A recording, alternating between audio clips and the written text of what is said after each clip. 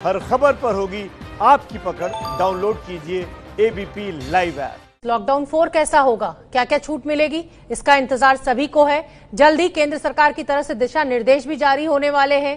प्रधानमंत्री मोदी ने राज्यों से सुझाव मांगे थे। सभी राज्यों ने अपने अपने सुझाव केंद्र सरकार को भेज दिए हैं। हम लगातार आपको ये दिखा रहे हैं स्टेट वाइज कि किस राज्य सरकार ने केंद्र सरकार से क्या मांग की है। फ़िलहाल हम आपको दिल्ली का अपडेट दिखा देते हैं कि दिल्ली की अरविंद केजरीवाल सरकार ने क्या सुझाव दिए हैं? केंद्र सरकार को। जैनेन्द्र मेरे सहयोगी, मुझसे ज़्यादा जानकारी लिए हुए जुड़ रहे हैं। जैनेन्द्र आपसे मैं ये जानना चाहूँगी कि अरविंद केजरीवाल ने अपनी प्रेस कॉन्फ्रेंस कर कर हमें जानकारी दी थी कि ये ये मांगे, केंद्र हमारी मांगे, उसमें जो सबसे बड़ी मांग थी वो मेट्रो और बस चलाने की थी। इसके अलावा क्या अपडेट आपके पास?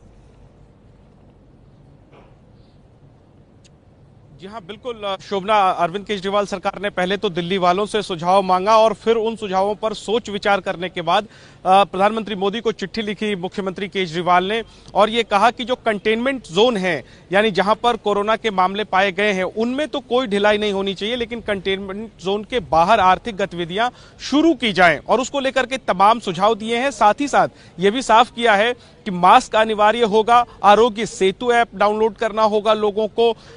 बस अगर चलाई जाएगी तो केवल 20 लोग बैठ पाएँगे, मेट्रो अगर चलाई जाएगी तो केवल वो सरकारी कर्मचारियों के लिए उपलब्ध होगा, सुबह तीन घंटे और शाम को तीन घंटे। दोपहर से शाम तक का जो वक्त होगा मेट्रो का, उसमें इसेंशियल सर्विस यानी जो ज़रूरी सेवाओं से जुड़े हुए लोग हैं, वो ही सिर्फ़ यात्रा कर पाएँगे, वो भी डीएम और एसपी के बनाए हुए पास पर।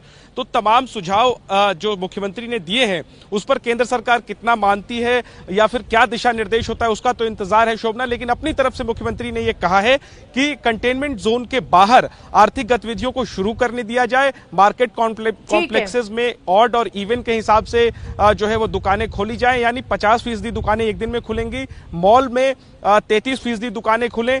तो इस तरीके के तमाम सुझाव दिए देखना कि क्या केंद्र सरकार कितनी बातें मानती है। अहम बात यह कि ये भी मुख्यमंत्री ने कहा है कि ढील देने के बाद कुछ संख्या में बढ़ोतरी होगी कोरोना की लेकिन भरोसा दिया है मुख्यमंत्री ने कि हमने उसके लिए तैयारी कर ली है चाहे अस्पताल में वेंटिलेटर की बात हो या फिर एंबुलेंस आदि की बात हो तो तमाम सुझाव दिए गए हैं जिसको कि हम दर्शकों को लगातार स्क्रीन पर दिखा भी रहे हैं। इंतज़ार है कि इंतज़ार इंतज़ार यही कि केंद्र सरकार की गाइडलाइंस आए और हमें ये पता चले कि क्या नियमों के साथ अब लॉकडाउन फोर आगे हमें तय करना